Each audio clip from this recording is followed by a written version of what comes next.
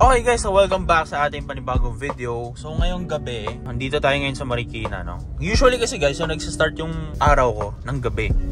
No, kasi syempre wala tayong tint. No, nakakatamad lumabas sa uh, umaga, traffic. Gagawin natin ngayon for the day in a life of Rich Potato. Part 2. Part 2 na to guys, no, kasi gumawa tayo ng una. Pupunta tayo ngayon kay Bonok Dizon. No? So kung di nyo kilala yon isa yun sa mga pinakamalupit ng mekaniko. Siya bumubuo ng kanyang Corolla guys, so dito siya nakatira. Dahil no, kasi bibili natin yung mugs niya. Bago na yung concept ko doon. Ayoko na siya na maging simple look. Gusto ko na maging clean look pero medyo pangdiinan yung mugs, no? So yun yung gagawin natin ngayon. Medyo mahaba yung gabi natin ngayon kasi mamaya pupunta tayo ng Paranaque. Bibili tayo ng goma para sa Corolla natin. Yung Stark, no? Pinagpipilian ko kasi yan. Um, TNA, N1, or yung SA3R yung tri-spoke, or itong Stark, no? Sa akin talaga malaking bagay yung color kasi ayoko na nang papapaint pa ako. Gusto ko isasalpak na lang. Bono, kaway ka naman sa vlog natin. Yun. si, si ano, AE92 Berto. Saan sa muna naman ako dinadala? Nasaan, nasaan, nasaan? Yun o. Ito. Linis lang yan. Linis lang to. Ito, game na. Kasama goma niyan. Oh, hindi ah. Tanggal yung nanggang, kahit yung ano pantayo. O, tingin yan itong goma mo. Sipin mo. Ang grabe, onti pala ng guhit nito, no? Hmm. Ano meron dito? Ano itong mga to? Bagong dating yung ating mixer. Testingin natin. Ano? Asa yung lifter? Tingin nga. Ito. Ay, pucha. Mhm. Puta. Big time na. So bakit ano ang rason bakit ka ano kumuha ng ano lifter? Para naman makasingit tayo na medyo maganda-ganda. Iba talaga pag may lifter guys. Oh. Kailangan klase rin yung ginagawa rito. Professional na 'to, eh, no? Ito, ito, ano to? Si, ano? Comment down below kung i-review namin to, no? Malapit na, malapit na matapos to. Tignan nyo naman guys, yung auto ni Bono. Carbon doors. Um, pak. Wala pa akong makita ng lapat na carbon trunk. Hmm, maselan to eh. Pati pasilip, pasilip pa akin na, ano to? Tui! Tui. mm. God damn. Ano ba to? Anong, anong makina ulit to? 4AGC boosted na turbo na. Turbo na. Ano pa kulang dito? Turbo na malaki. Malit lang, T25. Asa yung braces na to? Ayun o. Bang! Oh, saan mo gagamitin yung pambabayad ko sa'yo sa ano, mugs? May papamasahe mo. Masakit na yung likod eh, no? Ayan guys, so abangan nyo next time. So ayun, kakarga ko na lang yung mugs ko doon na panibago. Tapos, bibili na tayo ng goma mamaya.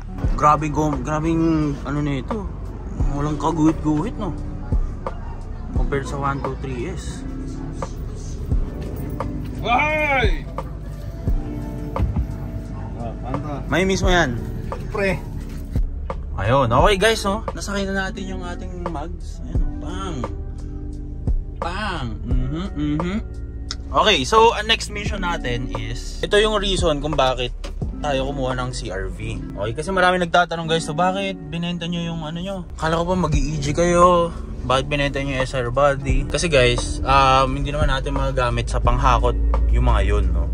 So ito at least magamit natin sa panghakot, sa pang car meet, Gwapo rin naman, di ba? Malalaki bintana, mabilis, dock na rin to. Pero main purpose talaga is syempre marami tayong masasakay, marami tayong masasakay na gamit, di ba? So yung EG, uh, siya SIR, hindi lang siya talaga angkop sa lifestyle natin. Babalik na tayo, punta tayo ngayon sa Camp Speed, no? Uh, tatambay tayo dun sa Glade kasi sasamahan tayo ni Lionel. Ano?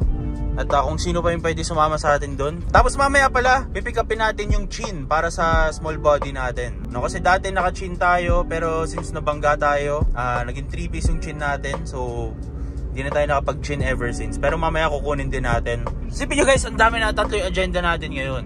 Sa gabi lahat kasi nakakatamad lumabas sa umaga. Tsaka nag edit ako ng videos, ng vlogs natin para sa umaga.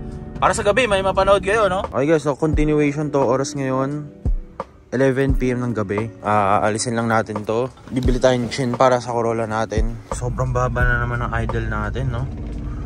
Uh, two weeks ata natin doon di nagamit, no? So, papainitan lang natin ng matagal. Ito yung sinasabi ko sa inyo, guys. So, tingnan nyo. Ang nahuhugot na to, sobrang, ayun. Di ba? Wireless connection na rin siya. De, pero kasi ang alam ko guys, dahil syempre kakagamit, lumuluwag to. Painitin ko lang to saglit. Tapos, let's go. Punta na tayo papachin. Dito pala, naka-live-in tayo na mags ditong side. Pa, I think di ko pa napakita sa inyo to. Naka-live-in tayo dyan. Tapos sa kabilang side pala, naka-hubcaps tayo. Ayan. Papagas muna pala tayo kasi ganitong oras din ako usually nagpapagas dahil walang traffic. Nalipan natin yung dalawa dito. So, tara, let's go! Ito yung level ng ating gas ngayon. Titig natin ilan yung full tank, no? So, ang nakarga is 1.5 lang, 25 liters. Mura! Baguhan lang sa larangan Kaya kong sumabay sa sabayan Mati ka po yung bitawan Pwede sa kalmahan Walwanan, nakitan man na malalaan Ito'y wala nang hinduan Okay guys, so nandito na tayo ngayon sa Geely ni Lionel. No? Kasi makikisakay lang tayo dahil nakatamad na mag-drive, no? Siya na bahala. Sa, sa modelong kotse guys. Damn! Mhm, mhm. Oops, naka-tire block pa to ah. 195.55 no? Sana hindi mag-grab no? SX2 Champiro yung ilalagay natin sa Corolla. Roll mo lang bro. Papi, pasipan. Malinis daw yung Corolla mo dyan eh. Masailan ka daw, Paps eh. Tingnan pa, tingnan. GT daw yan eh, no? Oo, GT GT yan. Mm. Ah, ito yung nakita ko sa ano mo. Ito, hindi for sale to. Ganda ng go mo. O, ito yung ano? Naka 195. SX2. Oo. Mga Gen 1. Eh, pucha. Latag to, Paps ah. Tapos naka Gen 1 na spoiler na. Mga spoiler na. Yung mga gusto ko. Yung set itself? Mga mga 90-95 po bago na. So, yung mags na to, 90 lahat. Oo, oh, alas po. Kasi, kasi guys, yung makikita nyo rito, ayun. Pati lug nuts, Paps eh, no? Oh, lock, nakalock, nakalock na. Tapos naka-oring na watanabe na. Lug nuts talaga. Grabe to. Bigatin. Detalyado, no? Tsaka. Ganda ng ano guys, oh, nung finish. Dito, bare, parang ano, may, may finish siya. Dito polish, oh. Mhm. So ito, wala spacer to. Sa harap. Five. 5 to. Eskwalado, Pops, no? Ay mo, yun yung magiging balat ng SX2, sir, pre. 6 and din to, di ba? Pixel niya. Pero yung sa'yo, ano, mas ma-appreciate mo kasi mas ma-squared yung SX2. Okay guys, no, bago natin ituloy yung video, since nandito rin naman tayo sa day in a life of Rich Potato, pakita ko sa inyo guys kung ano yung ginagamit nating langis para sa Corolla natin, no? Pagpasensya nyo na yung Narnia natin dito sa likod. Pero ito yung ginagamit natin ngayon guys, ang Nova Prime Elite Ultra. Actually, before ko ipakita sa inyo to, matagal ko na rin tong ginagamit, no? Siguro mga for a month ko na siya ginagamit. Pero, yung runtime ko kasi guys, no, alam nyo naman na kung saan saan ako napupunta, saan saan tayo umaabot. Kasi dahil nga nag-vlog tayo guys. So, recently, ito pa yung ginagamit nating pang-ikot. Pang-vlog, pag pumunta tayo ng Pampanga, ito pa rin naman. No? So, na-change oil ko na to. Gamit natin yung isa kanina. No? Not gonna lie guys, no? Nag, from time to time, nagbabawas talaga tong Corolla natin. Babawas siya ng langis. No? Hindi, for some reason, siguro sa katandaan, hindi ko alam kung bakit. No? Sa mga ganito, from time to time, alis-alisin nyo rin guys. No? Kasi, niipon yun. Tatambak. Dahil nga nagbabawas ng langis yung Corolla na. Hindi naman siya sobrang nagbabawas talaga guys. Onting-onti lang naman. Siyempre gusto ko na at its full potential yung ginagamit natin. Mga parts ng mga langis para dito sa Corolla natin. Ngayon, alam ko naman na hindi na siya brand new na kotse. Pero ang least na magagawa natin is to maintain its condition, no? So gumagamit tayo ng mga high quality na langis guys. No? So ito yung ginagamit ko as of now, yung Nova Prime nga. 5W40 na siya guys. Kung gusto niyo bumili na ito, ito yung kanilang Facebook account pang Diyan kayo pwede mag-orders. Meron din silang Instagram account. Yan lang natin siya ngayon kasi nga medyo nabawasan siya ng onte. Ay, papakita ko sa inyo gano, ano yung tsura ng langis nila guys. Tingnan. Oh. Grabe ka clear. Siyempre magbe-base kayo guys na sa engine, sa dipstick nyo no. Just check nyo palagi yan kung nagbabawas Or, di, imposible naman nagdadagdag yan, no? Kasi lang isa, no? Pero, most likely, nagbabawas talaga. Pero ito kasing Corolla natin, 30, 30 plus years old na siya. May katandaan na rin. Hindi naman tayo yung unang nag-alaga nito. So, yun nga, ang ginagawa lang natin, maintain lang natin yung condition niya. So, syempre, kung saan-saan tayo napupunta, no? Batangas, Laguna, sa Rizal, no? Kung saan-saan tayo napupunta, guys, no? And, hindi naman yung posible kung hindi natin inaalagaan yung makina natin. So, dapat wag yung titipirin guys, no? So, sa simula, maisip nyo na parang, ah, di okay lang naman to, mas mura to, ganyan. Sa katagalan, uh, paggamit nyo ng mga cheap, ng mga low quality na parts para sa mga kotse nyo, kayo rin naman ang tatamaan yan guys. Lalo na kapag bibili kayo ng mga segunda mano na kotse guys, na make sure nyo na i-flush nyo lahat ng fluids, ng liquids para sa inyong makina.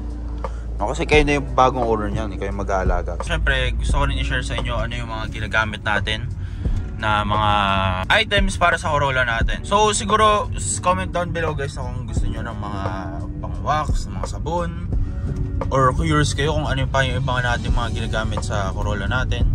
No? So, ayun, tuloy natin yung video guys. Okay guys, so brand new day. Ito na yung kinabit nating chin. Medyo marumi na yung bumper natin guys no? Pero lilinisin natin yan. So gusto, bumili ako ng dati may chin ako Kwento nga pero nabangga siya So naging 3 piece. So bumili tayo ng chin Panibago. Ayun alisin natin yung Levine Tapos itong hubcap Alisin na rin natin. No? Lalagay natin yung Stark Kunin natin dito sa CRP Tapos ito pala yung binili natin ng mga goma guys. Ayan. No? And SX2 Champiro. So sana talaga hindi yan mag-rub guys. Kasi kung naaalala ko, yung NS2 nagra-rub yun. So kunin lang natin yung mga mags dito na Stark. Makabit na natin. No? Ayun, lilipat lang natin to. Guys! Makita ganyan talaga sa Manila Ang haba ng pila, hindi tumagalang mahina Daming gustong madinig, mga di papadaig Marami mang kasabay bumantay Patuloy na mag-iingay ang aking bibig Grabe dito guys oh. Hindi madali Pucha, kala mo ano, kala mo tire shop. So meron tatlo, merong anim pala sa likod. Anim dito. So, kasha yung, parang kasha pa isang tire gas. Kasi hindi ako naglalagay sa trunk dahil may speaker ako doon. So, pinagkasya na muna natin dito, no.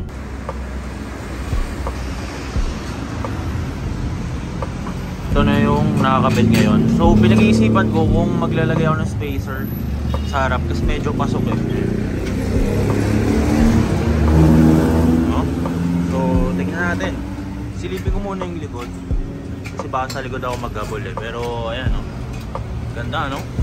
Yan yung fit niya ngayon. No? Tingin ko magra-rub na to pag nag-spacer pa. Pero, pwede na yan explain ko sa inyo bakit ito yung napili kong mags and yung goma no. So ito yung napili kong mags. Actually pinagpipilitan ko nga pinagpipilian ko nga yung SA3R N1 tapos TNA no. Ngayon may nakita ko sa mga market na mga ganon pero yung iba mataas presyo, yung iba iba yung goma, yung iba kailangan talaga yung mags goma and mugs kasama. Eh, gusto ko sana guys, magpalit tayo ng meaty tires. Yan. So, ito yung kinuha natin ngayon, Champiro SX2, no? Medyo meaty siya tignan, no? Kala mo nakamakina guys, so, pero carb lang yan. Tapos, sobrang big factor sa akin ng color guys, no? Kasi, ayaw, ayaw na ayaw ko talaga yung ipaparipaint ko pa. Tapos, hintayin ko pa, no? So, ito yung kinuha natin. Ito naman talaga yung gusto ko, no? Yung silver spokes, tapos polished lip. Pero, ang gagawin natin dito, papolish ko pa to. Ito medyo madali-dali kasi unti na lang yung hindi natin matatamaan na spots. No? So mas madali i-polish to. No? So ayun no. Um, sana na-enjoy nyo. Sana maganda sa paningin nyo guys. No? Kasi sa akin maganda siya. At uh, medyo meaty setup tayo ngayon. Yung mga mags natin dati, tatago muna natin sa likod. Ah, salamat number one kay Bonok Dizon sa pagpapa, ng mags natin na yan. Stark RC ata tawag dito. Tapos kay Lionel din syempre sa pagsama sa atin ng pagkuha ng goma. Tapos syempre doon sa kinuhanan natin nito, may napakalinis na big body yung goma guys no. Shoutout din sa Pops no. Next project natin yung CRV. Bibilihan din natin ng mags yan pero isa-isa lang kasi baka umalis na yung bulsa natin, hindi na mababutas no. So ayun no, kita-kita tayo sa susunod na video. Peace out.